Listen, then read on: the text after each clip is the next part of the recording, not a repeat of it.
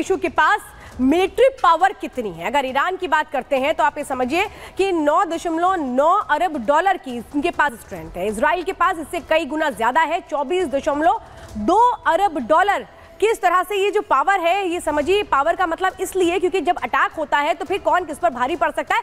ये समझाने के लिए हम आपको ये बता रहे हैं, ईरान में पाँच प्लेन है। इसराइल के पास कितने हैं? 612 प्लेन है। ये उनकी क्षमता को दिखाता है। प्लेनों के मामले में देखें तो बहुत ज़्यादा दोनों में अंतर नहीं है, लेकिन जिस तरह से अटैक हो रहे हैं, ये किस तरह से एक एक बड़ा असर डालते हैं, ये हम आपको बताने की कोशिश कोशिश कर रहे हैं। फाइटर जेट की संख्या अगर आप देखेंगे तो 241 फाइटर जेट है। इसराइल के पास एक फाइटर जेट ईरान के पास है, यानी कि इसराइल के पास फाइटर जेट की संख्या ज़्यादा है। आप समझिए, डेडिकेटेड अटैक एयरक्राफ्ट कितने हैं? इसराइल के पास उनतालीस है तो ईरान के पास तेईस है। इस मामले में भी इसराइल ईरान पर भारी पड़ता है। हेलीकॉप्टर्स की बात करें तो एक इसराइल के पास है, ईरान के पास एक है।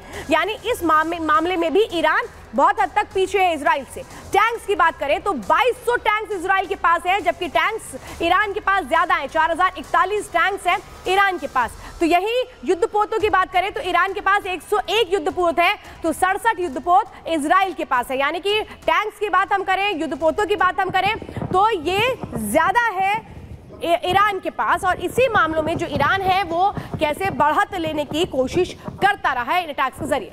बिल्कुल, और देखिए, जिस तरीके से यहाँ पर डायरेक्ट अटैक किया गया है महायुद्ध की, यहाँ पर जो स्थिति है, वो हम लगातार दिखा रहे हैं एक एक तस्वीर, इसके साथ साथ हमारे साथ खास गेस्ट जुड़ गए हैं, मेजर जनरल संजय सोई डिफेंस एक्सपर्ट इसके अलावा major general SP Sinha defence expert और इसके अलावा कर्नल शैलेंद्र सिन्हा भी हमारे साथ जुड़े हुए हैं group captain UK Devnath defence expert के तौर पर हमारे साथ जुड़े हुए हैं।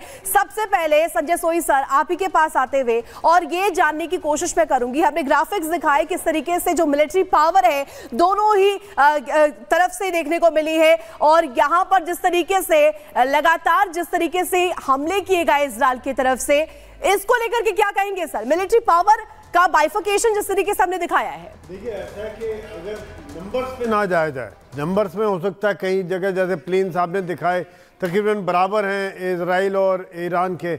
या फिर अगर हम देखें दोनों का जो ग्राउंड फोर्सेस में टैंक्स में कई ठीक है संजय सर आपके पास आएँगे। हमारे साथ शैलेंद्र सिन्हा भी जुड़े हुए हैं सर।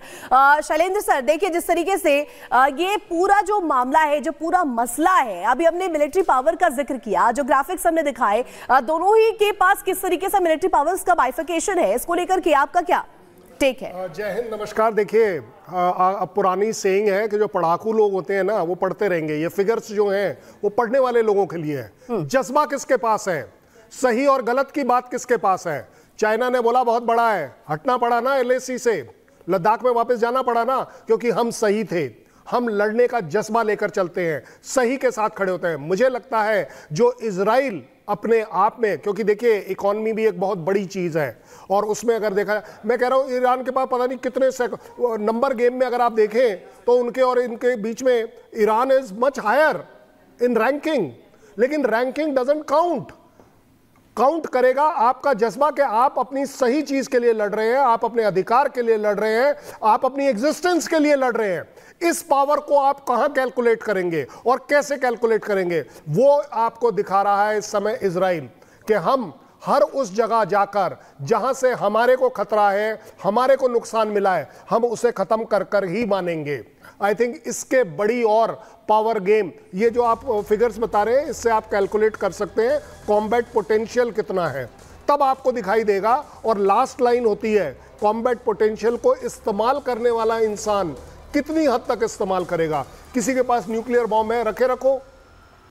आप इस्तेमाल तो करोगे नहीं। आप उसे डेटरेंस के तौर पर इस्तेमाल करोगे। That's all I think Israel दिखा रहा है इस समय कि अगर आप मेरे साथ डायरेक्ट और इनडायरेक्ट वॉर करोगे इसी तरह ईरान दिखा रहा है कि भाई यस हम मिसाइल दाग सकते हैं ड्रोन्स दाग सकते हैं और क्या कर सकते हैं? तीनों के तीनों जो उसके प्रॉक्सी वॉरफेयर करने वाले हैं हुती हमास और हिजबुल्ला उसके थ्रू अटैक कर सकते हैं। बात आ रही है इस समय ये कि कौन क्या रखता है जज्बा अपने लिए अपनी कंट्री के लिए अपनी एग्जिस्टेंस के लिए।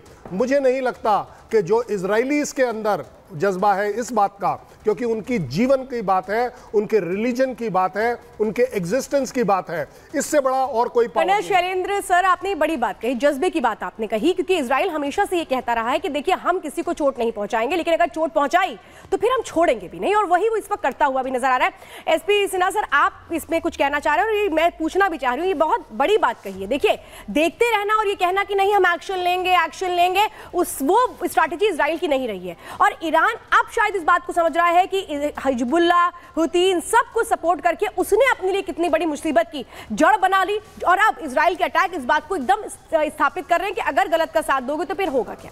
देखिए जब मिलिट्री इक्विपमेंट की बात करते हैं तो क्वांटिटी मैटर नहीं करता क्वालिटी मैटर करता है। दूसरा हम लोग को सेना जब हम लोग सेना में थे तो कहा जाता था it is the man behind the machine not the machine which matters तो आदमी कौन है जो मशीन के पीछे खड़ा है? तीसरी बात आपने इकोनॉमी का इंडेक्स दे दिया, आपने नंबर ऑफ़ फाइटर जेट दे दिया हेलीकॉप्टर दे दिया एयरक्राफ्ट दे दिया टैंक्स दे दिया, और नेवल पोर्ट्स का दे दिया। कुछ ऐसे पैरामीटर्स हैं जिसको आप क्वांटिफाई कर नहीं सकती हैं, खाली महसूस कर सकती हैं। मोरल डेडिकेशन सेक्रीफाइस कमिटमेंट ये सब का इंडेक्स कहाँ है? और ये सब इंटर बैटल विनिंग फैक्टर्स हैं जो मैं बता रहा हूँ।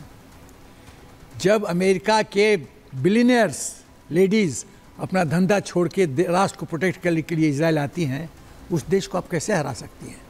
छोटे छोटे बच्चों में जोश है अपने मातृभूमि के मरने के लिए, कैसे हरा सकती हैं? एक जगह सोच है, वो जिहादी सोच है। ल- दूसरे को लेट लीव नहीं रखना है। दूसरा सोच है कि हमको अपने आप को बचाना है। उस प्रोसेस में हम हम यदि दूसरे पर अटैक करेंगे। बिल्कुल सिन्हा सर, और जिस तरीके से आपने यहाँ पर ज़िक्र किया है इंटेंसिटी को लेकर के, इस पर आगे भी चर्चा करेंगे। इस बीच दर्शकों के लिए बड़ी खबर सामने आ रही है। बड़ी खबर दर्शकों को बता दें, ईरान के उपराष्ट्रपति का बड़ा बयान यहाँ पर सामने आया इसराइल को करारा जवाब देंगे। ईरान की तरफ़ से कहा गया है इसराइल ने बड़ी गलती की है। ईरान ने यह कहा है और साफ़ तौर पर उपराष्ट्रपति का ये बड़ा बयान है इसराइल को करारा जवाब दिया जाएगा। तो ये देखिए, ईरान भी पीछे नहीं है। रिटालिएट करने के मूड में यहाँ पर नज़र आ रहा है। बड़ी गलती इसराइल ने की है। ये साफ़ तौर पर कह दिया है।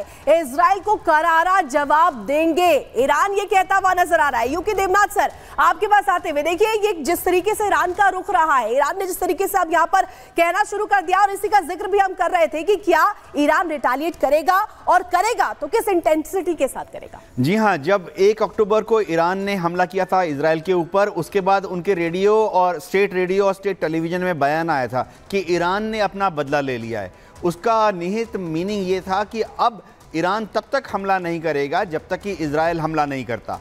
अब जब इसराइल ने हमला कर दिया और ईरान के उपराष्ट्रपति का ऐसा बयान आया है, ये दिखाता है थोड़ा अपना मजबूती दिखाना चाहते हैं। लेकिन मैं आपको बता दूँ ईरान में राष्ट्रपति पेजिशियन जो हैं वो थोड़ा मॉडरेट हैं पढ़े लिखे हैं और वो कूटनीति में यकीन करते हैं।